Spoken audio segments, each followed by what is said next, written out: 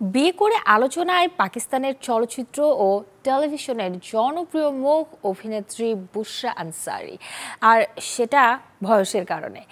ছেষট্টি বছর বয়সে নতুন সংসার শুরু করেছেন এই পাক তারকা। তিন দশকেরও বেশি সময়ের বর্ণিল ক্যারিয়ারের অনেকটা সময় সংসার করেছেন প্রথম স্বামীর সাথে।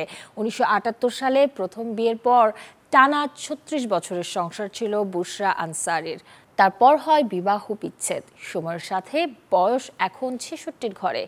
ছেষট্টি বছর বয়সে এসে বুশরা আনসারি আবারও আবদ্ধ হয়েছেন বিবাহ বন্ধনে। ইকবাল হোসেন নামে এক ব্যক্তিকে বিয়ে করে সম্প্রতি আবারও আলোচনায় এসেছেন এই অভিনেত্রী।